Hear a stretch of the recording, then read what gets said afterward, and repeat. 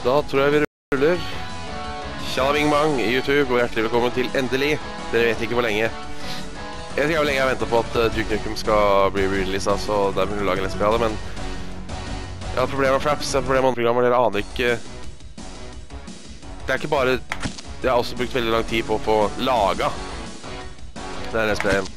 Uh, 49 minutter har jeg spilt Duke Nukem. Og det har vært uh, Countess Restarts opp og ned. Men vi skal spille, vi skal spille cake.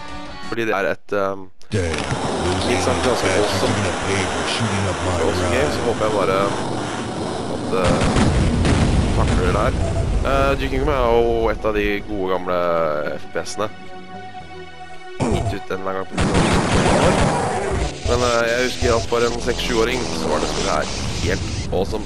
Og mange ganger jeg sier det er fett, i løpet av spillet her, så er det ikke noe jeg synes det er veldig fett ennå. Fortsatt synes det er veldig fett, men men eh, den sju år gamle Paravåg syns det er fett. Og egentlig så syns den 24-årige Våg det er litt fett ennå.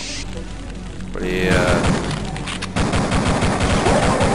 Jeg liker ting som er harry og tacky og politisk ukorrekt og alt sånt, så sånn sett er Duke Nukem midt i blinken for meg. Jeg håper frameraten Det her bruker et helt nytt program nå. Open Broadcaster Software. Takk, Len Erik.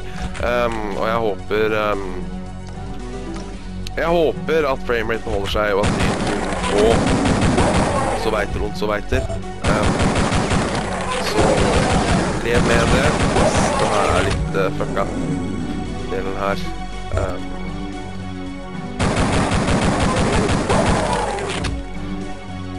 men, men. Uh, Duke Nukem.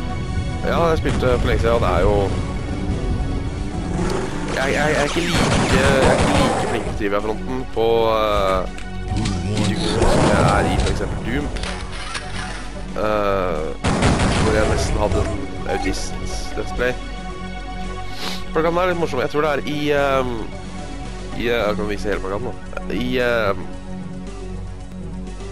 Jeg tror det er PlayStation-versjonen. Så er det en plakat for uh, Faster Pussycat Kill Kill Kill. Selv om det da er uh, Selv om det er Faster Piggy Kill Kill Kill, så er det en de pickupsa som tar uh, det er de pickupsa som tar uh, Det er. Um, så er det pickupsa som liksom tar en sånn alien som det der. Ja. Uh, det er speil her, og jeg spilte i går og lurte på det her med speil. For det er ganske kul ting egentlig med og spillet er ganske gammelt. Jeg lurte på Siden det her Var det første spillet som brukte speil? Når, når, var liksom, eh, når var det speil ble? Hvis det er noen som vet det, for jeg, vet det helt ikke. Hvis det er noen som har peiling på første spillet med speil, som har peiling på det, leave en eh, comment, så er du, så er du grei. Det er også hemmeligheter, som det alltid var i FS-er på den tida. Eh, det er veldig kult. Her har du en av damene som har blitt tatt av aliens. Hvis du trykker på henne, så hører du. Og jeg husker når jeg var eh, kleine knaben. Jeg og kameraten min Stian og han som hadde Duke Nukem Vi frika ut. Vi hørte den stemmen her, vi løp nesten fra computeren. Jeg har nesten ikke vært så Jeg har nesten ikke blitt så redd et spill noensinne. Første gang jeg prøvde demo på System Shock Det Det Jeg husker Jeg og Kim Marius spilte Demon Hail to the king, baby. og så kom den der fresh meat, eller hva de sier for noe. Vi ble altså så redde at vi måtte få pappaen til Kim til å skru av spillet. Fordi vi, vi bare løp vekk. Vi, vi turte. Det er kanskje det mest skremte jeg har blitt av spillet noensinne. Da ble jeg fysisk redd. Yeah. Det er litt irriterende den oppe i hjørnet der. Dere får ikke dere opp, da. Dere får faktisk ikke med dere Steam-overlayen. Nå må jeg innrømme at jeg begynner å like dette Open Broadcast Software eh. Nei, dere får ikke. Jeg kan, jeg kan chatte og drive med annet dritt. Uten at det... For nå har jeg faktisk overlayen oppe, men dere ser det ikke. For et fantastisk program. For et fantastisk program dette er. Hvis frameraten holder seg på programmet her, så er det no more fraps, altså. Det er litt laggy i previewen, ser jeg, men uh, Det er mulig det er previewen. Det tror jeg ikke svare på. En av mine favorittvitser i Duke Nukem er den her. Mm, don't have time to play with myself. Hmm, don't have Det er eh, Play with myself. liten uskyldig onani, onani-joke.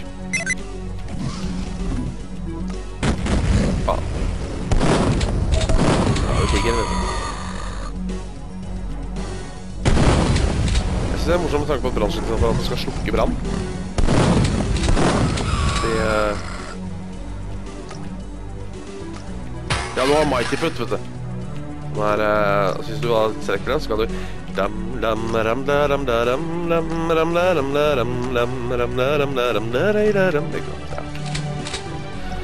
Så her har du all litt vakt.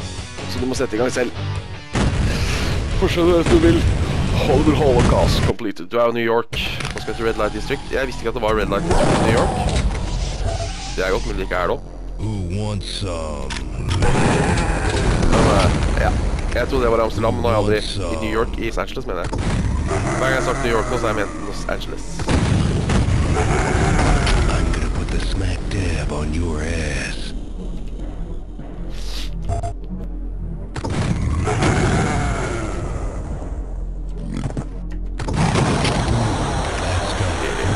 Her skal det være mulig å jukse den.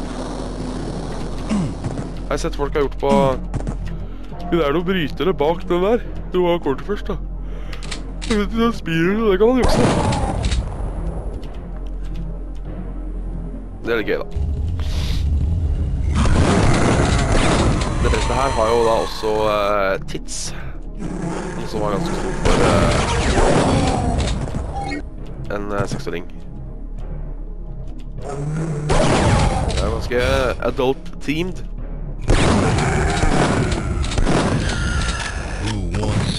Det er 1000 år igjen. Ja, ja. Her er det da en film. Og jeg er ikke helt sikker på hva film hva, hva, hva, hun Men jeg, jeg tror, jeg tror uh, Og toalettpapiret på veggen gjør også at jeg tror dette her er en dokumentar om epilepsi. Og at det er da ganske rørende. Uh, At det er en ganske rørende dokumentar, og derfor er det liksom papir, altså du kan tørke bort tårene og snyte deg og sånne ting. Uh, og den er jo så gripende at til og med aliens som invaderer jorda, må ta seg tid og se på den. Den her er litt mer vanskelig å bortforklare, men uh, jeg, jeg, jeg tror den svømmer. Jeg vet ikke, det er... Noe tissespill, husker jeg. Det var veldig gøy. Veldig, veldig gøy.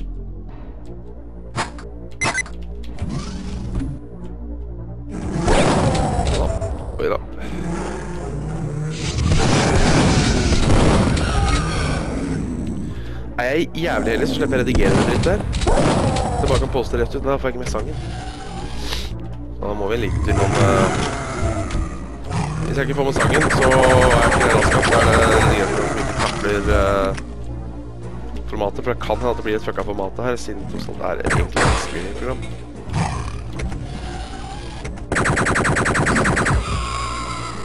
Det kan hende at det er sånn. Sånn det er.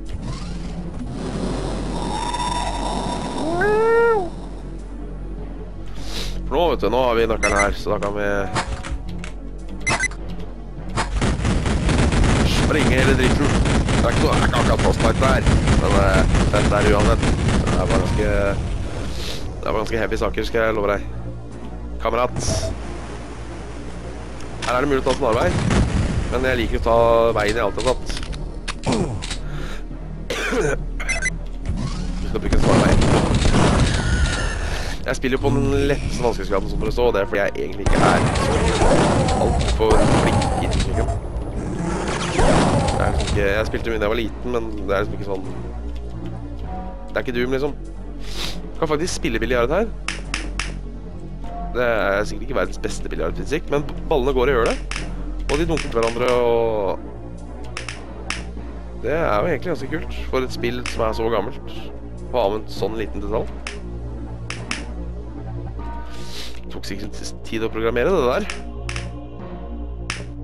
Nei, sikkert ikke da. Sikkert ikke giddet å gjort det. Det er sikkert ikke det her vi hadde kommet ned hvis vi hadde gjort det i den uh, Aquadukten. some? Sorry, bitch.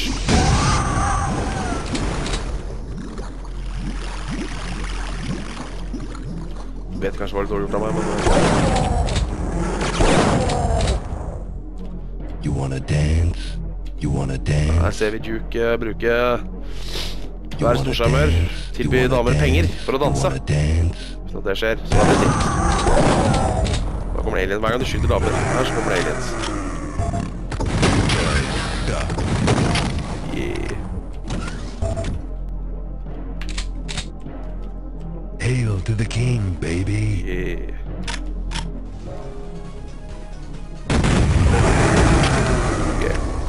Så den komme. Og nå, mine damer og herrer skal vi inn på spillbordet.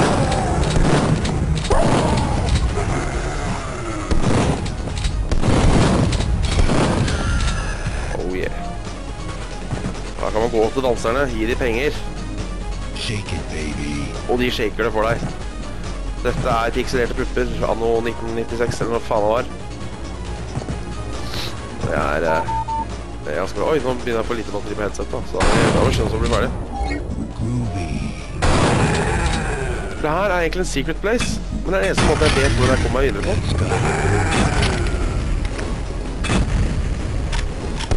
Så show yourself up. Ikke faen, der, ja.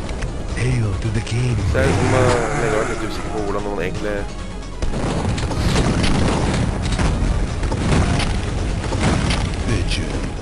Det her må jeg si, altså Jeg kan gjøre sånn.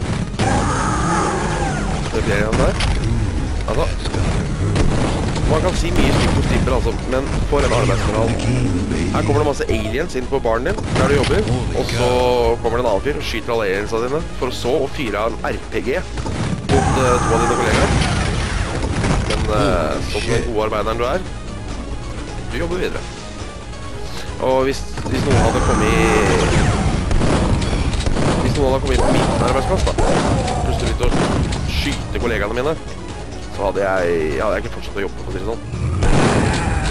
I did the fuck out of there. Må nesten ta med den, da.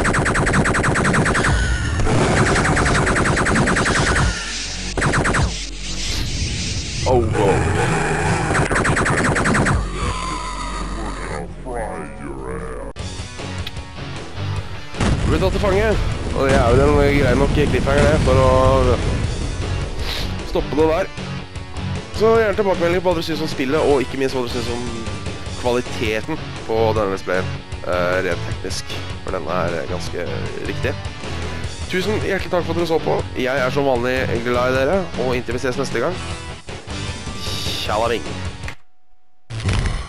Nei, nå stopper jeg ikke. Her har vi, her har vi gleden du, av å bruke nytt program. Skal vi se. Sånn.